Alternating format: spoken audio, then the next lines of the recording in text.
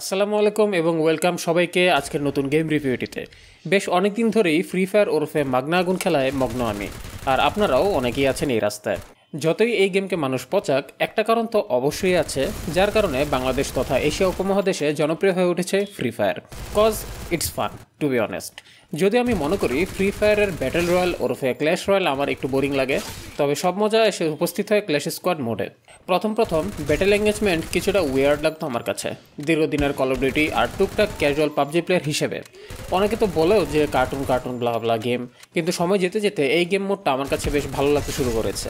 এখন আমার কাছে এই ব্যাটেল মোড আরও বেশি কম্পিটিটিভ এবং বেশি এনজয়েবল মনে হয়। যদিও ফ্রি ফায়ার একটি গেম হিসেবে অন্যান্য গেমগুলো চেয়ে ক্যারেক্টার কাস্টমাইজেশনে অনেক এগিয়ে ক্যারেক্টার মডেলিং ডিটেলস ও ইফেক্টসগুলো অসাধারণ। আর এখন এই ফ্রি ফায়ার ম্যাক্সের সাথে ভিজুয়াল এলিমেন্টস আরও উন্নত করা হয়েছে। এসেছে আলট্রা এইচডি সাপোর্ট গেম খেলতে খেলতে কিছু পরিবর্তন দেখলাম, যেমন গান হ্যান্ডেলিং ও স্মুথ বুলেট ফ্লোয়িং অ্যানিমেশন এটা আমার মোস্ট ফেভারিট একটা চেঞ্জ গান রিকল এখন কোন দিকে বাক নিচ্ছে তা দ্রুতই বুঝতে পারা যায়।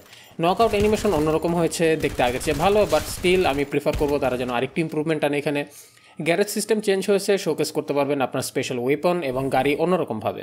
ফ্রি ফায়ার ডিফল্ট জামা কাপড় চেঞ্জ হয়েছে এবং আরও টুকটাক কিছু।